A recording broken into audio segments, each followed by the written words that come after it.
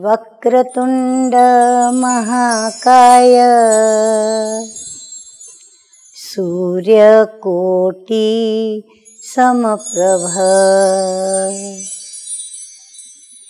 निर्विघ्नं कुरु मे देव। सर्वकार्येषु सर्वदा ओम शांति। आप सर्व को गणपति चतुर्थी की बहुत बहुत बधाई हो, मुबारक हो मुबारक हो। सभी गणपति भक्तों ने पूज्य गणपति जी को अपने घर में मेहमान नवाजी करने या मेहमान के रूप से बुलाया है और गणपति जी को भी लेकर के आए हैं वो भी पधारे हैं। परंतु गणपति जी की जब भी महिमा की जाती है तो उनकी महिमा में पहला मुख्य शब्द यही कहा जाता, विघ्नहर्ता। अब विघ्नहर्ता वो कैसे हैं? जबकि हम देखते हैं कि गणपति जी का बहुत छोटा सा एक बाल स्वरूप ही दिखाते हैं। बाल स्वरूप नहीं तो किशोरावस्था दिखाते हैं। अब बाल स्वरूप और किशोरावस्था में इतने अनुभव उनके पास कहाँ से आए जो हर एक के, हर विघ्नों को वो दूर करते हैं, हर समस्या का समाधान करते, हर प्रश्न का वो जवाब देते। इतने अनुभव, इतनी छोटी उम्र में उनके पास कहाँ से आए? स्वाभाविक ये बात हमें सोच में डालती है। परंतु हमें ये नहीं भूलना चाहिए कि गणपति जी किसकी संतान थे। वो संतान थे उस ज्योतिर्बिंदु सदा कल्याण करने वाले दुख हरता सुख करता शिव पिता परमात्मा के।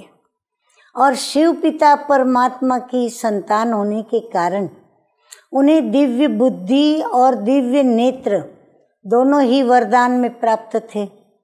इसीलिए तो उनका गज गज शीश दिखाया गया है। गज शीश कितना बड़ा होता है। और आँखें देखो तो कितनी छोटी। तो गज शीश इतना बड़ा जो दिखाया, यह उनकी दिव्य बुद्धि की प्रतिभा का प्रतीक है। और छोटी सी आँख उनके दिव्य नेत्र की निशानी है। ये छोटी सी दिव्य आँख दुरादेश ने, दुरादेशी नेत्र है, जिससे वो भविष्य को भी देख सकते हैं, पढ़ सकते हैं और उसको समझ भी सकते हैं। बस यही कारण है अपनी दिव्य बुद्धि के आधार पर, उस दिव्य समझ के आधार पर वो अपने भक्तों के जो भी विघ्न हैं, उनको समझ पाते हैं। क्योंकि उनके पास एक ऐसा दृष्टिकोण है, जिस दृष्टिकोण से वो भक्तों के विघ्न को सुनते हैं, समझते हैं, और उन्हें क्या तकलीफ़ होती होगी, वो उस दृष्टिकोण से उसको देखते हैं।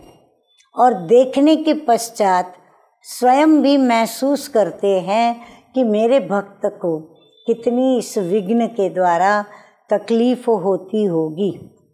तो रहम दिल बाप के वो वो संतान होने के कारण उन्हें अपने भक्तों पर भी बड़ा रहम आता है और उस रहम के कारण वो अपनी इस दिव्य बुद्धि का भी उपयोग करते और साथ साथ दिव्य नेत्र का भी उपयोग करते।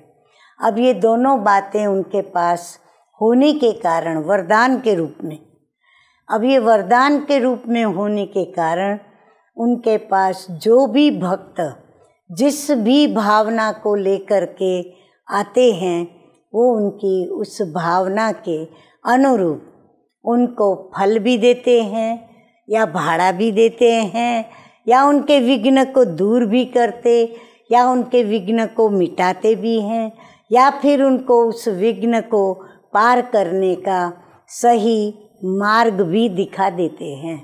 बस यही कारण है, वो विघ्न हरता है। और इसीलिए ही जब भक्तों के पास कोई विघ्न आता है तो दौड़ करके जाते हैं अपने उस इष्ट देव, पूज्य श्री गणेश जी के चरणों में और जाकर के अपनी समस्या का समाधान करते हैं। मोरे हरे बापा मोरे हरे गणपति बापा